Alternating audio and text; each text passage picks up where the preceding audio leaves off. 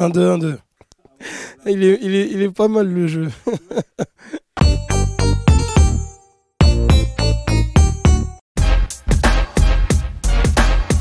C'est le nom de notre petit euh, collectif. Le nom, il vient d'un manga qui s'appelle Naruto. C'est un, gang qui est regroupé de plusieurs euh, entités. Et dedans, mais tu retrouves Esprit Noir, Franglish, Daju, mais il y a d'autres personnes qui sont dans, dans ce mouvement. Il y a des DJ, il y a un tas de personnes et c'est un kiff. Dans, dans le groupe, on parle pas que de travail. Je peux pas te montrer ce qu'il y a, ce qu'il y a dans le groupe parce qu'on se chambre tellement.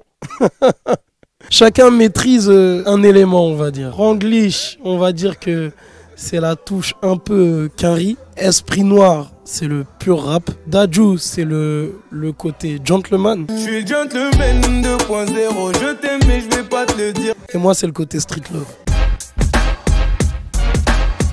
C'était très dur, hein. en plus avec la section qui était très exigeante. Et quand j'avais 13 ans, chaque mardi, et vendredi, on devait venir rapper nos textes devant eux. Ça veut dire le mardi, j'arrivais avec mon cahier, je faisais un texte, je rappais, je rappais, et eux, ils étaient cash. Nul, bien, bof, truc, reviens. Ah, refais-le, celui-là, on aime bien. Là, tu devrais changer ça, ça. Ah, les gars, ils étaient durs.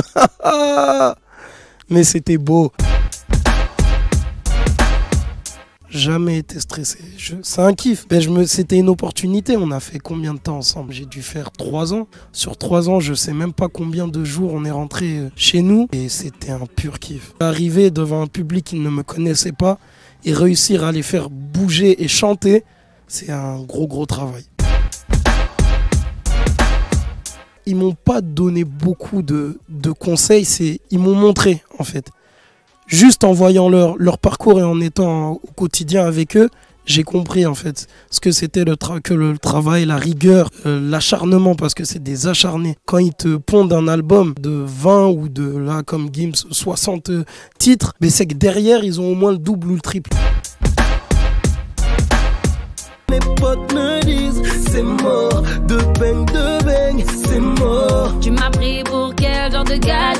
Ah, faut demander à Imenes si c'est mort. Ah, c'est en vérité, c'est compliqué. On n'a pas trouvé d'entente à la fin du, du morceau. non, je suis un peu plus euh, lover. Je suis street love. C'est pour ça que l'album il s'appelle comme ça. C'est street et c'est love, c'est que je viens de la rue, mais je fais de la musique un peu love. Ça, je reposte. Ça, c'est des trucs que je trouve. C'est de la communication, ça fait plaisir, même pour les, gens qui, suivent les artistes. Être partagé par l'artiste, c'est quelque chose de, de, kiffant. Ah, moi, Jackson. Jackson, à chaque titre, chaque sortie d'album, je leur ai envoyé au moins 100, 100 snaps sur, sur ses musiques. Vianney.